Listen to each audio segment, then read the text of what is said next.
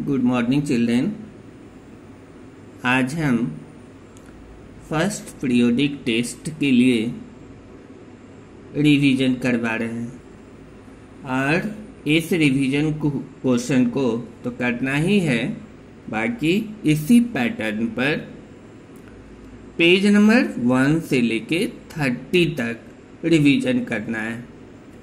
जैसे फ़र्स्ट में है fill in the blanks the smallest two digit number is यानी स्मॉलेस्ट टू डिजिट नंबर लिखना है। स्मॉलेस्ट डिजिट बच्चों वन से लेके एट तक वन ज़ीरो हुआ वन हुआ two three four five six seven eight होता है। लेकिन लार्जेस्ट नंबर केवल नाइन होता है। तो इसमें the smallest two digit number. सबसे आसानी तरह से हम समझ सकते हैं स्मॉलेस्ट टू है तो सबसे पहले हम वन लिख देंगे। अब वन के बाद अगर हम ज़ीरो लिखते हैं तो स्मॉलेस्ट नंबर है, इसलिए यहाँ पर टेन होता है। ज़ीरो के बदले में अगर वन लिखते तो ये इलेवन होता तो इससे बड़ा हो जाता। हमको क्या लिखना है? स्मॉलेस्ट टू डिजिट नंबर इसलिए हम वन ज़ीरो ही लिखेंगे। यहाँ है the smallest three digit number the smallest three digit number हम क्या लिखेंगे? वन लिखेंगे। फिर हम डबल ज़ीरो बैठा देंगे। अगर हम वन के बदला ज़ीरो ही लिखते तो फिर ये पर कोई नंबर नहीं हो पाता, वो ज़ीरो ज़ीरो हो जाता। इसलिए हमको फ़र्स्ट डिजिट में वन लिखना पड़ता है, उसके बाद जितना डिजिट है उतना ज़ीरो बैठाएँगे। अब यहाँ पर देखो the largest two digit number largest में कुछ नहीं करना है, जितना नंबर दिया हुआ रहेगा लार्जेस्ट का, उतना हम नाइन बैठा देते हैं। दो है तो दो टू नाइन ठीक है? यहाँ है the largest four digit number तो यहाँ पर क्या होगा?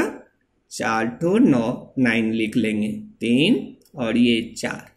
तो ये हमारा क्या हो जाएगा? Four largest digit number. इसी तरह से अगर तीन है लार्जेस्ट तो तीन टू नाइन लिखेंगे। वन लार्जेस्ट नंबर है तो वन लिखेंगे। उसी तरह से स्मॉलेस्ट में फोर है तो वन पर ट्रिपल ज़ीरो हो जाएगा। अब सेकेंड क्वेश्चन में है, हमको एक्सपेंडेड करना है, यानी विस्तार से लिखना है। जैसे यहाँ 834 है तो 800 होगा 830 प्लस फोर 834 तब यहाँ पर क्या है? 8 है। 8 के बाद एक, दो दो डिजिट है, इसलिए डबल ज़ीरो यानी 800 हो गया। फिर थ्री लिखे थ्री के बाद एक है डिजिट तो यानी कि एक ज़ीरो ये थर्टी हो गया। और फिर यहाँ पर फोर है तो हम फोर लिख सकते हैं। ये एक्सपेंडेड फॉर्म होता है। इसके अलावा हम इसको भी हम कर सकते हैं, जैसे यहाँ पर दिखा देते हैं, जैसे eight into hundred plus three into ten plus ये फोर इंटू वन हो जाएगा। तो ये क्या हो जाएगा? एट हंड्रेड ये थर्टी ये फोर लेकिन हमको सिंपल वे में बनाना है। ये वाला नहीं बनाना है। जैसे यहाँ पर 800 प्लस थर्टी प्लस फोर लिख देना है।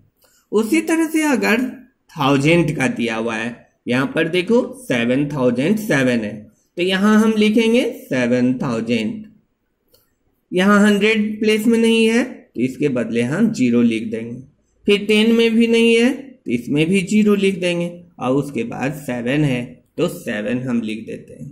ठीक है? तो इस तरह से ये एक्सपेंडेड फॉर्म को करना है। और सारा क्वेश्चन हम देंगे, लेकिन आज जो है तुम लोग, इसको बढ़िया से होमवर्क में भी और समझ के बना लेना है। ठीक है? Okay and thank you